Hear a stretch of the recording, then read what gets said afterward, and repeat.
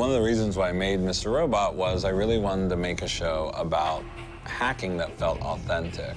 I think we did that. Hello, friend.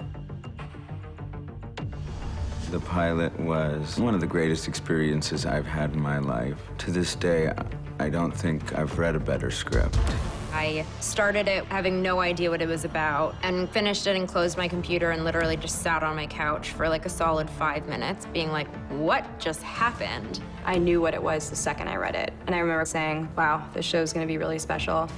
Our biggest hope was for other people to find it as special as we did. The whole world of cyber attacks was all new to me and new to most of our audience. We're finally awake!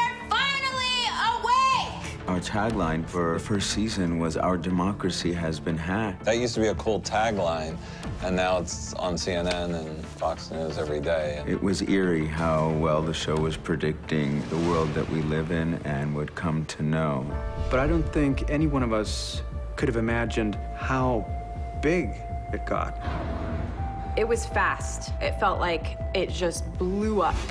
You realize, wow, not only is it special to us, critics were speaking so highly of it. Entertainment Weekly wrote a lovely review. The New York Times was writing things about the show. When Forbes said it was on track to be a modern classic, I was like, oh, whoa. And I just was saying, this this just doesn't happen. I mean, this is incredible. Wow! You did this! There's been so many fun scenes to shoot. When we were shooting the pilot, we were in Times Square and throwing my fists up in the air. I would say the oners. the one-shot episode. I think it was episode five of last year.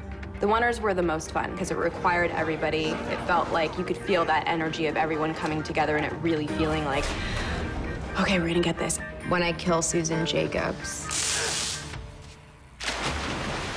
I loved that scene.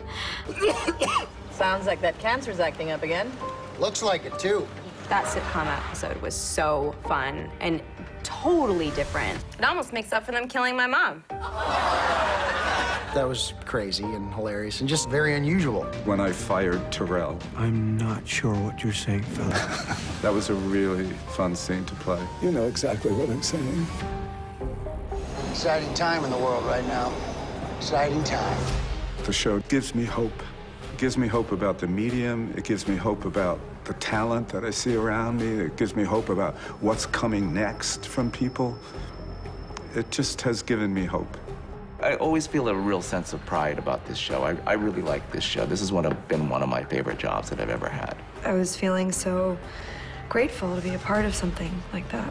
I will say, working with the group of actors that I have worked with has changed me as a person. It's really changed my view on what a TV show can do for people.